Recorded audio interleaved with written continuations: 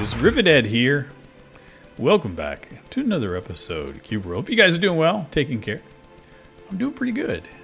So, um, yeah, sorry about last week and uh, screwing up the schedule. I was off uh, just a few hours. so I made sure that I'm recording this in time this week. So, yeah, actually, last week was a nightmare for me across the board. I uh, I I had a, a rough week. Uh, I mentioned the last one that I was going to be heading off to Chiang Mai. Uh, it was my intention right after we were recording, and I got everything done. And after, right after I got done recording and got everything uploaded, I started to feel like shit. Um, where are we headed? Yeah, we're headed over that way. Yeah, I started feeling crappy. Uh, just achy and like allergies were kicking in. Just nothing felt right. And so I checked online to see, you know, if the, the allergy, like the the pollen count or anything was to the roof, and it was something else. Um, our air quality was in the toilet. Um, Bangkok was in a hazard level with smog and pollution and air quality. Um, from my understanding, and again, I'm brand new to you know dealing with this. Uh, the regular ratings uh, when I was here earlier in the month was around 70. You know, moderate to okay.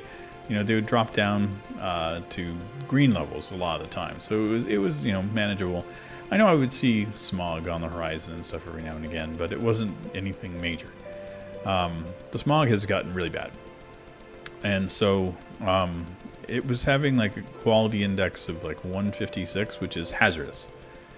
Like there is no ifs, ands, or buts. They say stay out, stay indoors. Uh, don't go outside if you don't have to. Mask if you go outside, and um, I don't exercise. Don't do anything. So um, I canceled my trip uh, Monday when I found out about it because I'm like, uh, part of my thing is I have a full backpack, 30 pounds worth of stuff, carrying it across the city you know, a lot of commuting. I was looking at, you know, roughly four hours or, or sorry, two hours of uh, commuting across the city. And I'm like, I just don't want to chance things because there's, um, I, wow, good, good God.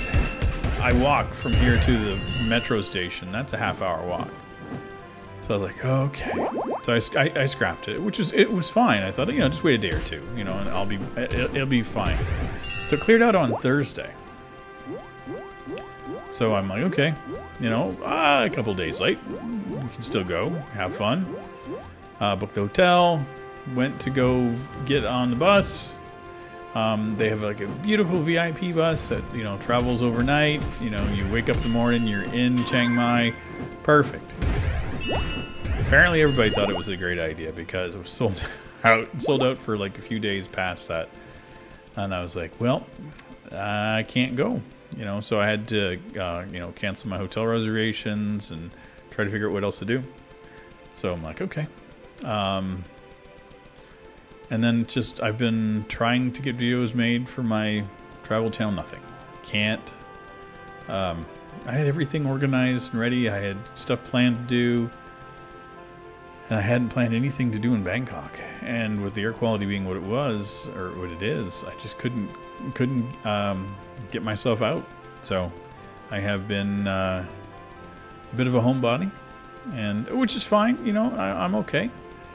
Um, I'm uh, I have a day trip planned this week. Fingers crossed that I can get going for it.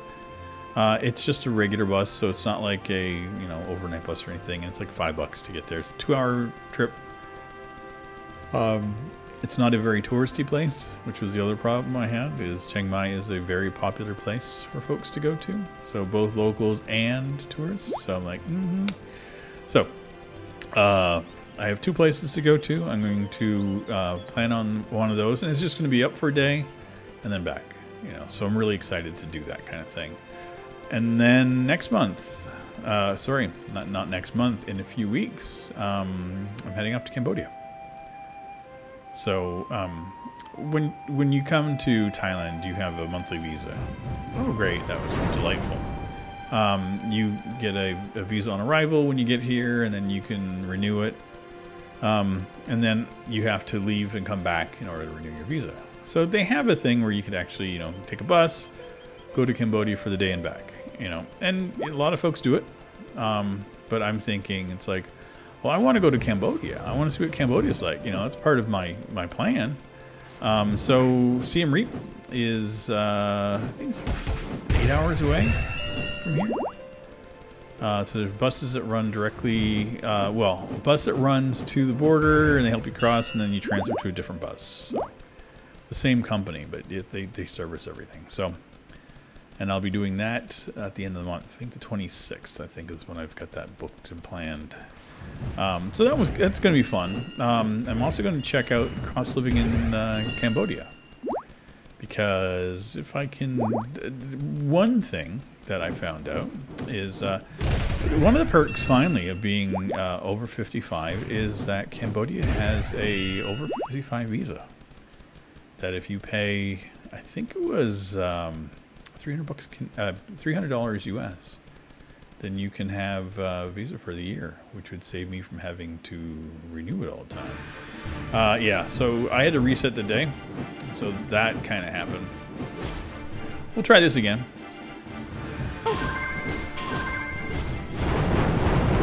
You gonna get it moves?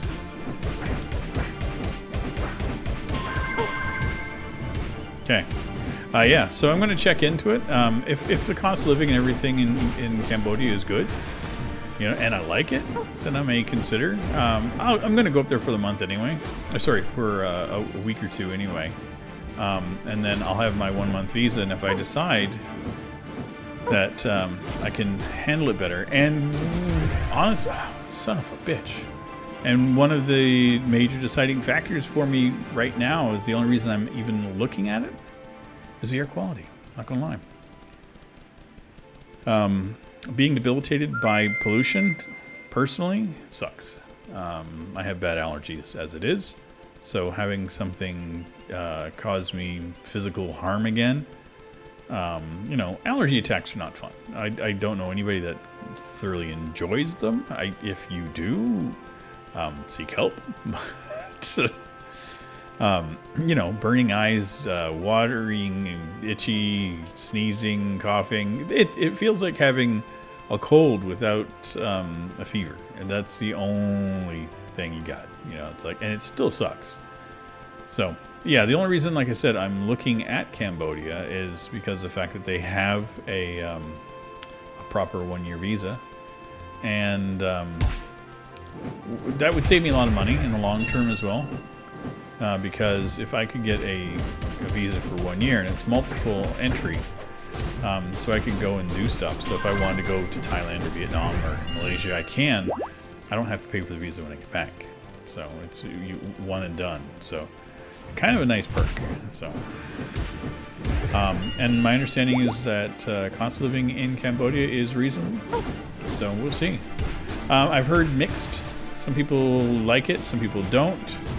Um, I think it just matters what your expectations and everything are. So I have zero expectations.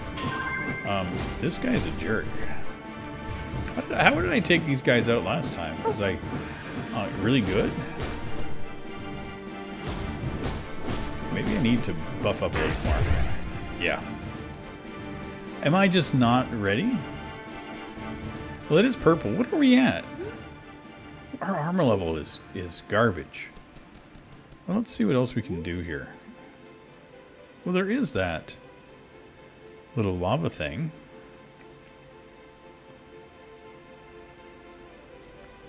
I mean, there's got to be other things we can do. Let's head over towards the lava. We could do that, right? I think that's where I marked it, or did I? There we go. Um, so yeah, I'm actually excited to go to Siem Reap. Um, uh, I've been checking. The air, quality has been a lot better than here. Um, the temperature is roughly the same, so a little bit cooler-ish. Uh, they tend to get uh, more of a cool uh, evening versus the the date tends to be about the same. So that could be kind of neat. Um, you know, I'm I'm here for the long haul to uh, enjoy. So I'm fine um, And the other thing too is, like I said, is if I get the one year visa, then you know that allows me to not have to worry about uh, constantly having to renew and get that stuff. And you know, if I decide that I want to go and spend two months just living in Cambodia and not having to worry about the travel and all that other shit, I can. And honestly, taking that kind of weight off my shoulders is kind of nice. Now, the I, the only downside, my understanding for Cambodia, like the, the major one that people complain about, is electricity is a little bit more expensive there than it would be in other places. Um, so people do complain about the cost of electricity but people say if you know you don't run the electric all the time, you know if you are uh, you know good about not running air conditioning and all that kind of stuff, you should be fine. And I'm like, you know what? I've been kind of just working off of like a fan a lot of times, and then just at nighttime I'm having the AC on. But you know what? Is if the if the air, you know, if it drops down to reasonable levels during the uh, nighttime, then you know I don't need it at night. You know, I can go out during the day, you know, do my wandering around and come back home, take a nice shower, cool off, and then, you know, sit in front of a fan. I don't see a downside, so we'll see. I, am assuming I've already been to this one, but I'm I'm eyeballing it just in case because I thought I saw the marking on it and I was right. Okay, let's double check. Tain't nothing here, but there is lava. Whee! I probably did this too. Because, you know, why wouldn't I just fly off of this and do the lava? Um, the other thing, too, I like about Cambodia is the archaeology. Uh, I'm a big fan of archaeology. So, Angkor Wat is a place I've always wanted to see. So, I'm really excited to go there. Uh, that apparently is pricey, too. I think that's like 30 US for the day. But again, it's like a once in a lifetime kind of place to go to. So I'm like, mm-hmm. I dig it. Um, okay. These guys are blue, right? Not play in the water, uh, lava.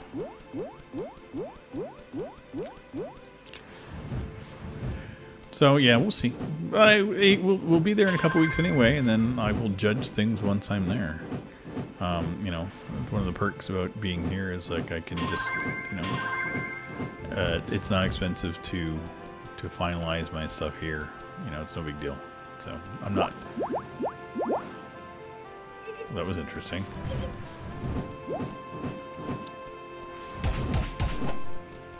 Okay, let's just drink some liquids. There we go. Knock that guy down. Um, so, uh, gaming wise, I've been pretty good. I, have been keeping myself busy playing games. Um, I picked up uh, Assassin's Creed Valhalla a while ago, and I enjoyed it, but I hit a wall with it, and I just was not enjoying it anymore. Um, and I couldn't figure out what the reason was for it. You know, I didn't understand why I didn't like it. Um, I received quest. Okay. Shoulder armor, you shit me. Hell yeah. Finally. Now we're blue, baby. That makes me feel good. Um, what was the quest that I got? Mana pump? Okay, did I... Maybe it's... Is it... Is it... All these things. Quest. Oh. 50 terriers and get 500 goals. Gold. Ah, that's not really all that important to me. Not at all. Not even close. Um,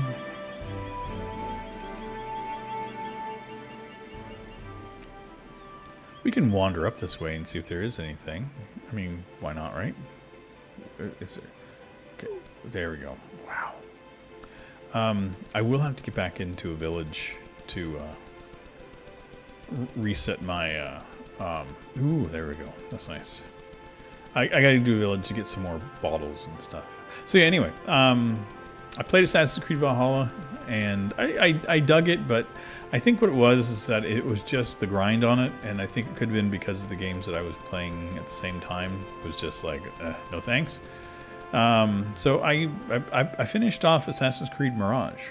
Um, picked that up recently, and I've recorded that for the channel. Coming up in May, in June. Yeah, I'm I'm that jerk.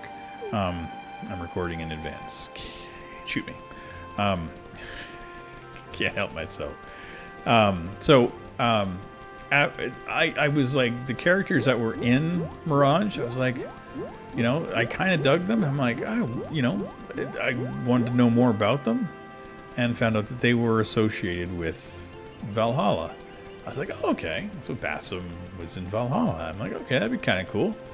I'm going to go and check out Valhalla again. So I reinstalled it and just re-rolled the character right from start. Um, not even trying to uh, like figure out what my last save was because I'm like, no, there's no way that this is going to be. I'm going to be able to remember how I played the game because the controls are similar, but they're not quite the same, right? So, so I just started from scratch, and I'm about 18, 20 hours into it, and I'm about half the time into it as I was before, and I'm further along in the story. So, uh, I'm doing something right. Oh God, why? I just need to stay closer. Okay, there. Can we just hop on? There we go. Um, and I'm digging it. And the funny thing is, is that the characters that I was curious about, uh, Basim especially, is a jerk. Like I don't like him at all in Valhalla. Like he's just creeping me right out, and justifiably so. He's not a great guy, but in uh, Mirage, it's the prequel to this one, right? So it's like you know the distilling of how Basim became who he is, and um, yeah, it's kind of interesting because things happen in um, in uh, Mirage that kind of makes for an interesting. It, it, it's a cool game. Let's put it that way. Um, don't know if we uncovered something, but whatever. I don't see shit. This is one giant island. Wow. We should probably do the whole thing. What do you guys think? Yeah, I've got nothing but time. I wouldn't be saying that if I didn't have mods on. Not even close. Uh, but yeah, I've been in, I've been digging. I've been actually digging uh, Valhalla. Uh, and funny enough, too, is it okay? That's fucked. Um, it came up on the Game Pass as well. So, um, yeah, kind of nice. It's kind of funny because um, uh, I get the humble choice every month, and I've been noticing a lot of the games that are in that, like the main game, is one that I picked up last year and played, and I'm like, dang it. So I'm like, I'm just gonna have to ease off on buying games and just let them either come to the Game Pass or come to uh, Choice and you know, I'll get the odd game, right? So, like I got the um, what was it? There was another one that was on sale. Forspoken? I think that's the one that people just hate. Um, and so I installed it. I haven't played it yet. I'm just going to finish Valhalla. I'm like, and uh, here's the thing: uh, Forspoken was uh, ninety-nine dollars Canadian. Yeah, let that one sink in. Ninety-nine bucks. Um, Epic had it on sale. I think it was like 60% off, and they had their coupon. I got the damn thing for like 20 bucks and change. So I was like, for 20 bucks, I don't care how bad the game is, I'm going to give it a shot. I mean, it has to have something redeemable in it. And apparently, you know, there are some things that uh, people dug about it, but there's like a whole bunch of stuff that people just hate. And I like a game that is so divisive that makes people just like full on rage. So but again, who knows if it's made better? I, I mean, I've I bought a bunch of shitty games in my day. Uh, some would say this is one of them, uh, which is fine. I'm not one of those people. I'm still digging it. Uh, Armor Time has been talking about wanting to uh, get back into playing some Cube World too. So if you follow Armor, um, get ready. He's actually been recording again. Makes me very happy. He's been uh, doing some RimWorld. So it's been nice for me to have somebody to watch that I like. You know, I've always, I always dug Armor's content before we became friends. So um, that's how we met. We met. I watched him on YouTube, and then I was like, I want to, I want to, I want to hang out and record with this guy, and so that's how we met. Um, and uh, yeah, man, one of those bravery moments where I'm like, I'm going to take it. I'm going to take a minute. I'm going to send an email to a person I've never met and say, Hey, I'm a fan. Would you like to record something with? Ah, oh, damn the old days of YouTube. Now it just, it just, you know, our friends that we collab with, and I'm not even caring about any other stuff. Uh, uh, remember when I first started out, I was like, oh, I'm gonna make, you know, I'm gonna be doing YouTube, and like I was all excited and stoked, and and I guess I still am to a certain degree, but yeah, it's just like it. Once you've been able to figure out a lot of the basics of how this thing works, it's not, you know, it, it's fun. Like I, I do. I love making content and love playing games and stuff. And you know, I'm so happy that I've been able to do what I've done. But um, yeah, some of that uh, that that shyness of the whole. It was a new thing for me, right? So, you know, I, I, I think that's with anything, right? Once you get familiar with it, it starts. Okay. Been feeling something on my arm. It's little fucking ants. They drive me nuts here. And they're just little tiny, tiny little ants. And they're everywhere. They drive me nuts. I gotta get some ant traps.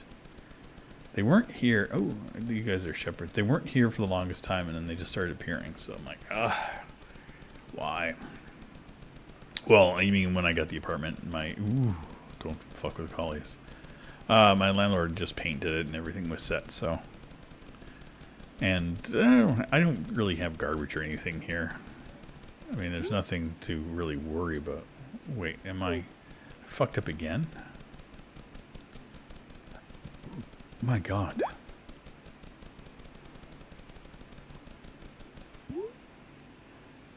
Yeah, right off the deep end.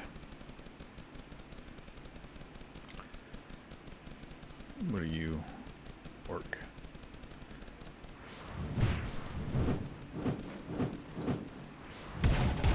Well, that was a great idea. Well, we did it. Like it was a major big deal. Mm, I want to see if we can find some. Oh, coming back. Um, yeah, the, the beds in Thailand are weird. Um, I, I dig them, but I know some people wouldn't. Um, they're hard. They're firm as hell. Um, and I, I think it's like a, the good and the bad. Um, so it's like you know, a good firm bed is is can be a great thing, but um, the bed that's too hard for some folks can just ache you. Um, and I kind of sit between that some days. Some days I sleep really well, some days I sleep like crap. Oh, that didn't go well. Yeah, that went really poorly. Couldn't dodge. I tried to do the whole when I landed. Didn't work. Why? Why are we not? We're right on the edge. On the cusp. Everything's back. Okay. Man, I felt I I don't know why I do this all the time.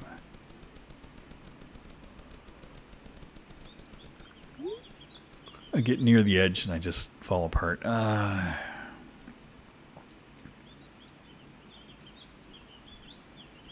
that's a thing. That's a thing. We got things.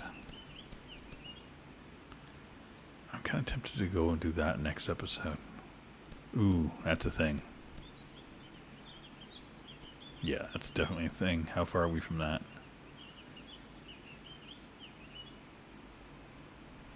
We're here. I can get to here. We should be able to do that. If we if we boogie, we can get there. Let me just double check, make sure I'm going in the right direction. Circle power. Okay. I'll go there. Okay, let's do it moves. um, yeah, so anyway, the beds are really hard, really firm. And some days I sleep like a baby. Other days I sleep like crap. Last night I slept like crap.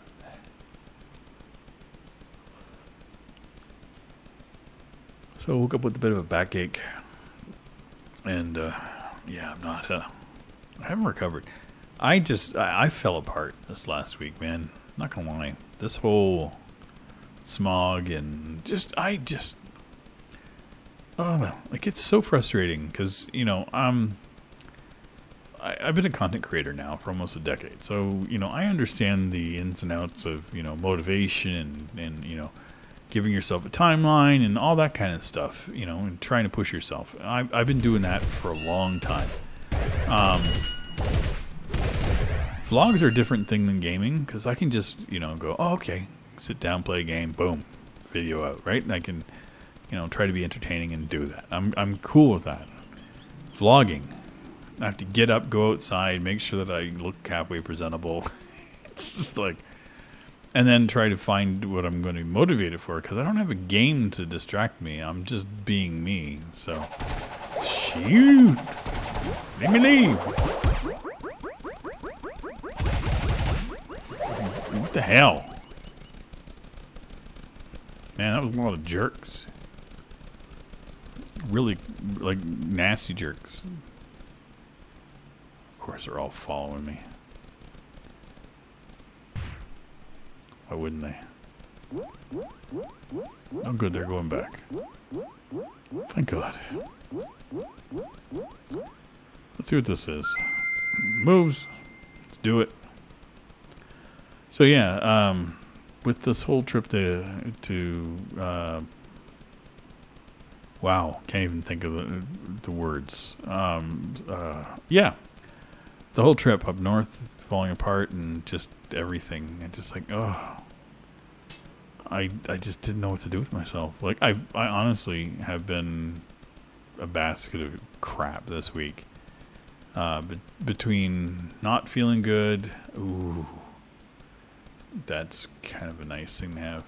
Yeah, between okay, just stop. Uh, between not feeling good from the you know the allergy attacks and the breathing and everything, because that's annoying. Um, but yeah, just a whole bunch of shit. Just my my brain, like you know, like I didn't have the things I wanted to do planned, and I couldn't do anything, and I'm like, and I, I can't motivate myself to do anything else. I'm like, wow, you you just you you fell apart hard, man. Okay, let's see if this is the one. No.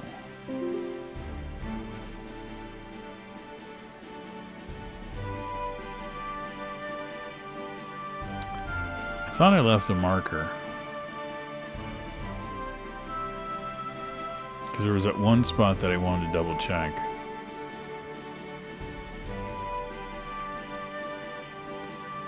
Oh, that's annoying. There. Look place.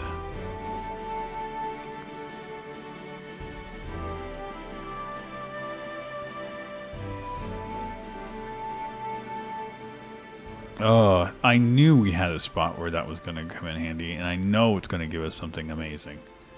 You know what? We'll figure it out in our next episode. Oh, That's a place I want to mark. And that's a place I want to mark. Oh, we can. Yeah.